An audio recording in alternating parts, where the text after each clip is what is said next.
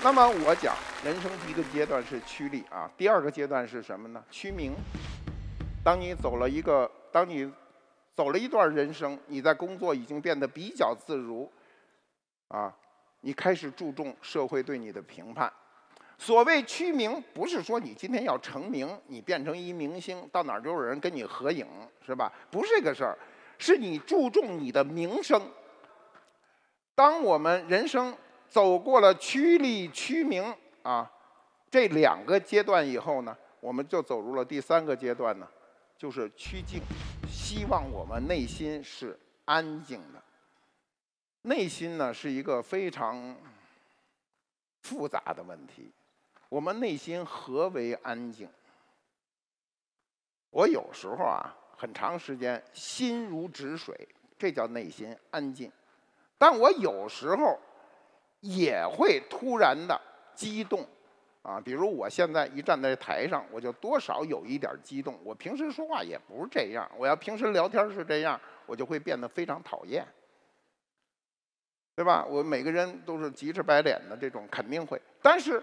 我们当我站在这个舞台上的时候啊，啊，底下有上千学生在听我发表这段演讲的时候，那我内心还是有一点激动的。当我们这个走过人生这三个阶段的时候，就应该理解你的人生的价值所在。我过去啊，过去呢，呃，自己。一开始做事儿就俩仨人做事儿，慢慢呢，博物馆做大了。我做博物馆二十三年了，做观复博物馆已经二十三年了。呃，博物馆的人也多啊，来来去去的人也多。那么后来在这个博物馆的这个这个招工作人员过程中呢，因为不是我招人，我从来不会招人，我觉得谁都行，啊。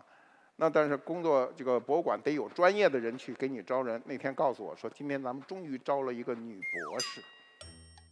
呀，我说太好了，终于有博士来应聘了。来了一个女博士，女博士身后跟着八个人，他们家亲戚差不多全来了，近亲远亲都来了。来了以后呢，女博士。就确实一看就像女博士啊，身后的人呢立刻分成三波，一波奔后勤，啊，看看后勤的设施，比如吃饭的环境啊，因为还要住宿舍，宿舍的环境啊；一波呢奔了办公室，看看办公室左邻右舍都是谁呀；另一波呢就奔了工作场地。你们认为这事儿对吗？女博士很有意思，上了一天班第二天呢，不辞而别，所有的信息全部关掉，无法面对她不能适应的这个社会。我们对社会是需要有适应的，即便你不能适应，你可以留，你可以留下一句话，这句话是什么呢？是说我不适应在这儿。或者说，你这个地方不适应我，都可以一句话。本身你到哪儿应聘都有试用期，这个没有什么对错。但是你关掉你所有的信息，你永远不再跟我们联系，这就是你的错，对不对？你读了那么多书，掌握了那么多知识，就这么一个坎儿你都过不去，你将来怎么融入这个社会？你怎么能允许你家里那么多人跟着你，帮你去检查你即将工作的这个环境？这里头上百人都在工作当中，怎么就是你非得需要你家里那么多人同意这个环境，你才可能工作？所以我们每个人一定要知道，不管你掌握多少知识，当你进入这个社会的时候，你未必能够适应。我刚才说了，我从来不管招人。我曾经招过一个人，就招过一个。我去看话剧，前面前一排的女孩子一回头一看我说：“啊，马老师，呀，什么就快站起来！”我说：“别站起来，话剧快开始了。”他说：“我刚工作辞了，我能不能上你那儿工作去？”他那个热情是扑面而来的。我说：“可以啊。”我说你明天就去吧，我一生中招过这么一个人，铸成我人生的大错。人很好，我们先说人非常好。他工作起来，我们单位很多人说说他做个这个非常好的朋友，很好，但是工作有问题。为什么呢？工作太强势，不容，跟每个人都不容。有若干个部门，每个部门最终都不要收留他。跟谁在工作中都叫针尖儿与麦芒的去对。然后，如果对方错了，已经认错了，他仍然不依不饶。这就有问题。我刚才讲了，你只能对自己苛刻，你不能对这个社会、对别人苛刻。你对别人一定是宽容的，但他做不到。那最后呢？没办法了，我跟他谈话，我说，全博物馆的人只有你是我招进来的，那么今天只有我来辞你。我说能理解吗？对吧？我到现在跟他关系也很好，辞了他不代表就说这人就关系不好，只是你不适合跟这么多人融洽的工作。我讲过一个道理，你跟你喜欢的人一起工作，高高兴兴的不是本事，你跟你不喜欢的人依然能够工作，这叫本事。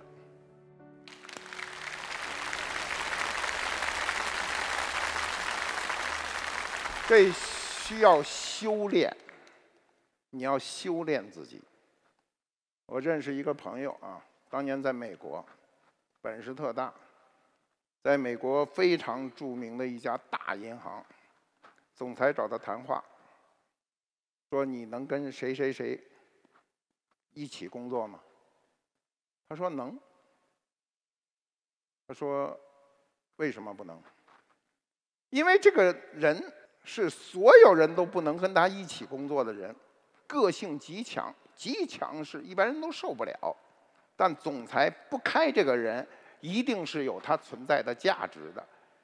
然后就问我这朋友说：“你能不能？”他说：“能。”然后这个银行最重要的一份工作就给他了，在二十年前。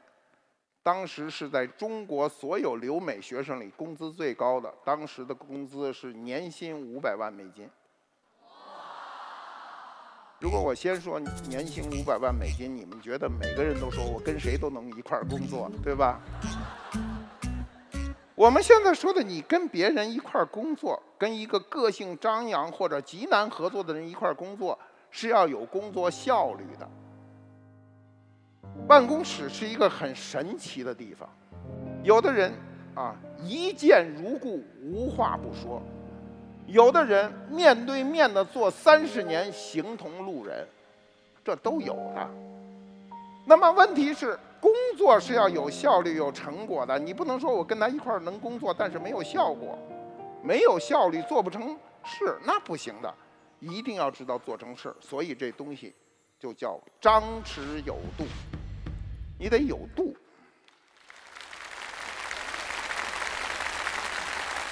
你知道什么时候可以进，什么时候不可以进，这就是所谓的情商，对吧？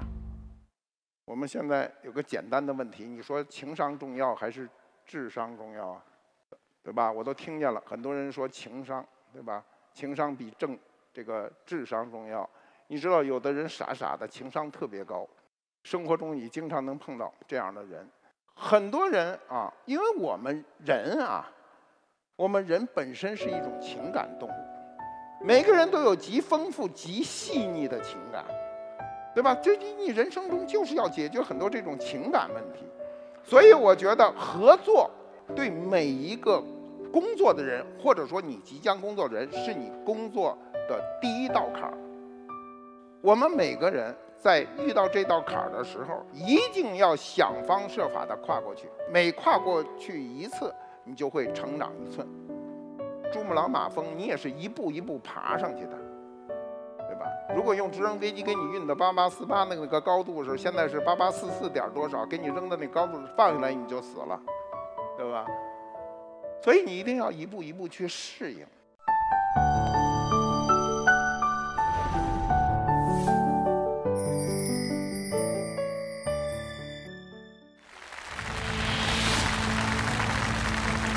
对白，让我们和更好的你聊聊。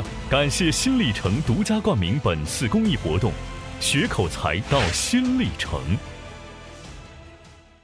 那么，我们今天啊，我们转了一大圈子，说了半天，说的是什么呢？财财务自由。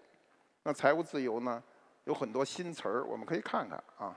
第一个自由叫菜市场自由，我想买什么就买什么啊，我想吃什么就吃什么啊。对吧？那么第二个自由呢，叫交通自由。这交通自由得解释啊。交通就是一个位移，最便宜的自由是什么？就是那，我现在不知道骑那个车多少钱，一块钱还是五毛啊？一块钱啊，五毛的日子没了吧？你们老想着五毛的日子，那些公司就全倒闭了。那些公司都是五毛五毛给起倒闭的，你知道吗？所以它要变成一块钱。一块钱能骑多远，我也不知道啊。那么这叫交通自由。交通自由中，交通是一个很奢侈的事情啊。世界上最贵的，就是你坐最豪华航空公司最豪华的头等舱啊，迪拜啊，阿联酋的航空公司，天上能洗澡啊。如果你钱足够，而且你还有男人啊，你还有女朋友，不是女朋友或者夫人，女朋友可能不成。女的有男朋友或者丈夫，你可以要他那张单间，有双人床的，在空中，有无数那个阿拉伯美女，就是那披着长纱的，老用英文问你，你需要什么？你说我需要你不来打搅我。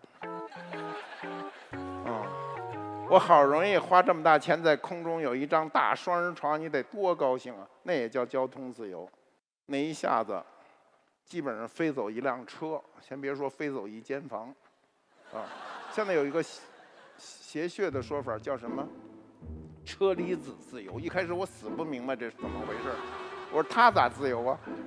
闹了半天就是这东西很贵，是吧？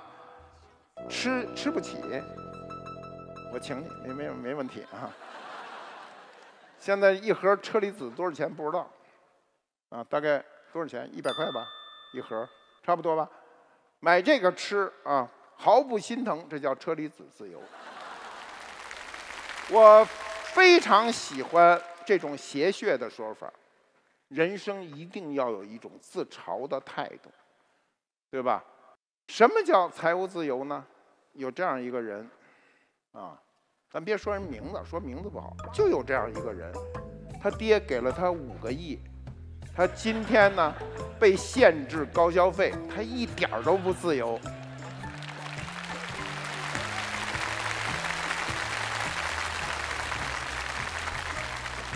你们为什么那么高兴呢？他是这样，你通过这样一个例子，你知道，真有人给了你个五个亿，你未必是自由的。人有多少钱，他对应就有多少事。人绝对不会，你有一大堆钱你就没有事。我先告诉你，你突然来一笔钱，第一个扑上来的一定是个骗子。啊，你如果没有能力管你这个钱，你的钱一定是萎缩的，对吧？你的钱不停的萎缩，你就焦虑，你焦虑你就过得不好。不是说有这样一个事儿吗？这个人有好几个亿，最后剩了。一百多万美金，觉得活着无望，跳楼自杀了。你们在座谁有一百多万美金会跳楼去？他就是参照物不好嘛。原来是上亿，现在剩一百万了，等于没钱了，要跳楼。人生的这个麻烦和内心的障碍都是自我找的。我们生活中其实能看到很多啊，就人生的欢乐，各有各的欢乐。所以呢。就是我们所有的财务自由的一个追求。我问过很多发过大财的人，所谓发过大财，就是你们所有人认为他财务自由了。我就问他，我说你觉得，啊，当你挣了这么多钱的时候，你人生最大的改变是什么呢？他说，就是上餐馆点菜的时候，先看左边了。明白这意思吗？你没钱的时候一定先看右边，是不是？把那贵的全剔出去，捡便宜的点，它就这么点区别。过去王朔写过一篇小说，就是两个人装着跑到一个宾跑到一个餐馆里，餐馆里那单子全是外文，看不懂，然后只能翻翻翻翻到最后，这便宜点了俩，说等着等半天，说你怎么老不给我上菜呀？他说刚才你点那都上了，说怎什么时候上了？我们都还没吃呢。说您点俩歌都播完了，那便宜啊，十块钱一个，点完了，对吗？这种事情过去都是有过的，不是每个人生来就会经历很多事情。你成功了以后，你会享受人生，是吧？你看到电影里，你天天被这个脑那个电影里电视剧给你洗脑。我第一次，啊，三十多年前，我第一次去吃日餐，那是我在北京啊，我跑到天津有个叫利顺德大酒店，那个酒店当年孙中山先生都去过，那时候有日餐，我第一次去。吃日餐，日餐那拼盘都上来以后，它肯定有一块芥末，对不对？那芥末做成窝头样，对不对？大小跟那个慈禧太后吃那个黄的窝头一边大。我当时没见过，也没听说过，也不知道是什么。一想，这他妈日本人这个绿窝头不就比我那黄窝头看着是个绿的吗？我就夹起来一口就搁嘴里去了。呃，不仅上头，还上脚，两头上。啊，人生都是这样，你出无数个洋相。当时呢，唯一的一个感受就是说，我这眼睛突然特通畅。眼睛有多宽，泪水有多宽，跟瀑布似的往下流啊！眼睛有很多潜力啊！你们要不信啊，你说我哭不出来。你就把那一口咽下去，我保你啊，泪如雨下。所以我们在人生中呢，要知道所有的自由，包括财务自由是有限度的。你如果奢望一个你不能驾控的财务财务自由的话，你一定生活不是幸福的。很多有钱人并不幸福啊，我见到这个有钱人啊多了，这个朋友啊。我净出卖朋友，今天啊，我一朋友自个儿盖一房子，盖好了让我去，去了以后我看他那房子啊，我一进他们家，先说啊，你喊一声有三声，为什么这屋里太大都是回声，咣咣的来回撞。他把他妈接进去住，他妈九十岁了，也不敢说什么。他一不在，他妈跟我说，他妈说。这哪是人住的房子？这屋子里没法住。他不是说这个空间越大越好，你每个人都想，哎呀，我这个卧室太小了，我将来有个宽大的卧房多好。那多大为合适啊？啊，你是二十米、四十米还是八十米啊？如果这间屋子是你们家卧房，你晚上只要一醒，你看这顶啊，你说我在哪值班呢吧？这是。你这么大一个房间是不可以做卧房的嘛？所以它事情要有度。我一个朋友盖的那个屋子，那个大客厅巨大。我到他们家一进门，他从里面出来，我这从门口进来，然后两个人脸都笑僵了，手还没握上呢，对吧？我说你弄这么大个房间干嘛呀？他自个儿说哈。我现在明白了，我为什么盖这么大房子？因为我太土，就觉得大了好。然后呢，引进世界上最先进的单面通电玻璃，就是这玻璃啊，你从外面看看不进去，但是从里头，外面全是清晰的。所有的人进去都上不了厕所。你试试，这要是一玻璃围着啊，你们全看不见我。但我能看见你们，我怎么在这儿上厕所？我怎么能够克服我心里的巨大障碍？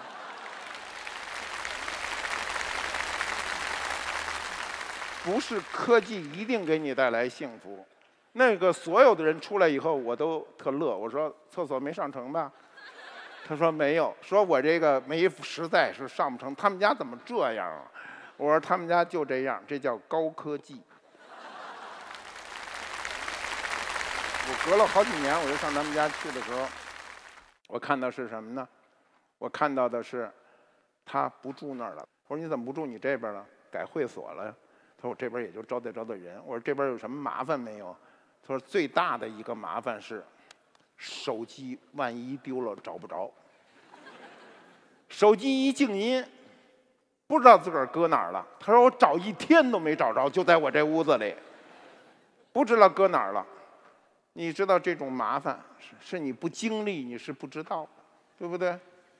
那我们可以看看啊，就是人生的缺憾啊。我们讲我也有。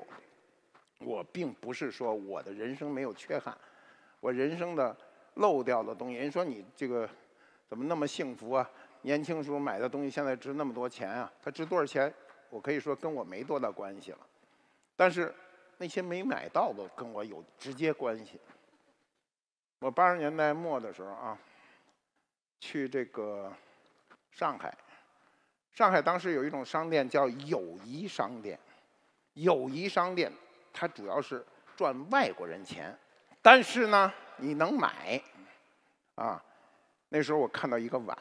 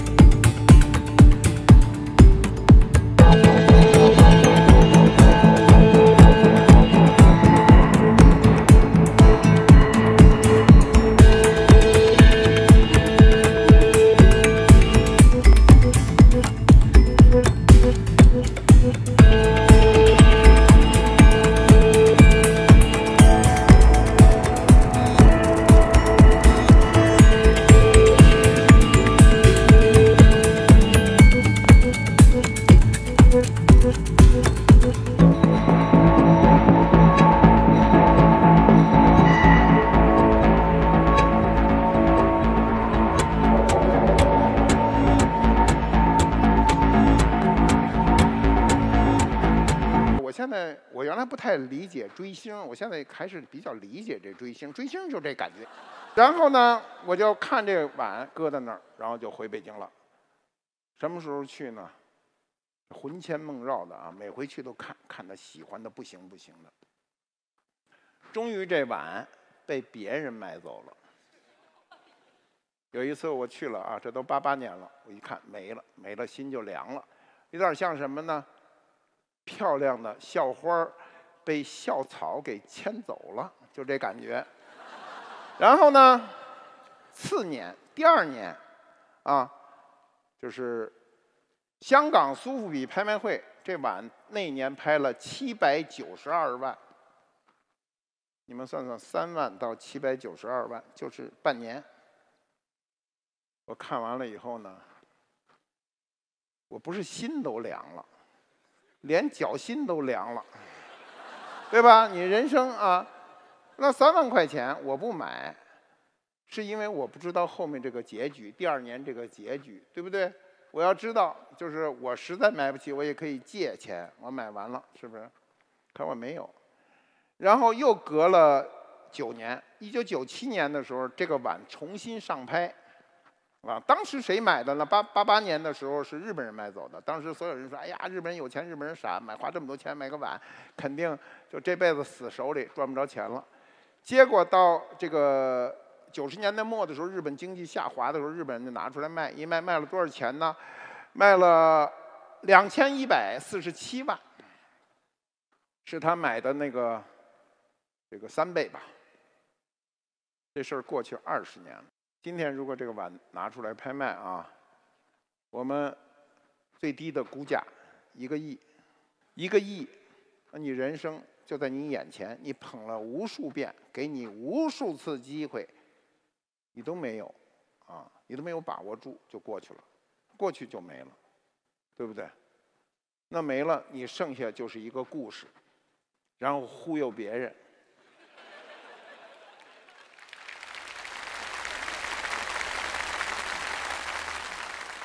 那么我们现在想的就是这个事儿哈，就是你人生啊，不是所有的事情都一定让你最满意，你每一步你想都踩中那个点儿是不可能的，对吧？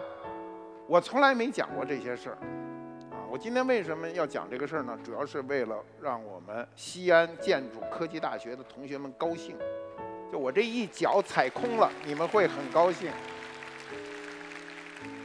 那么，我当年啊，到香港去，看见一个东西，喜欢的不行。我喜欢一个金器，黄金的这件东西啊，这是。马啊，过去古人骑马，马脸上的这东西叫当卢。简单的说，是你们今天看到所有豪车的车标，这听懂了吧？你看一奔驰有一车标啊，你看一个奥迪，它有一车标，对吧？它有个车标，这就是标志当炉装饰物。从周代啊，咱们这个地方是周秦汉唐啊，这个。周代、秦代到汉代，这就是马前面这个特别重要的一个标志。这东西纯金的，你会看到上面全是动物、神兽。把一这么大块纯金扣脸上，搁今天也挺狂的。我要搁我脑门上也挺狂的，是吧？搁这马的脑门上呢，代表这个时代的标志。我当时看到的时候呢，在。香港的河里活道那个人，我说：“哎呀，这东西我太喜欢。”他说：“你喜欢不成了。”我说：“为什么呀？”他说：“我卖了。”我说：“你，你卖了，你给我看什么呀？你给我介绍一个女朋友，你说昨天他跟人结婚了，你这这不是你拿我开涮吗？对吧？”我说：“你不能给我看的。”然后呢，我说：“你怎么卖了？”我说：“他给钱了吗？”不是，你那女朋友领证没有啊？对吧？然后。他说给了定金了，那这事儿就没辙了啊。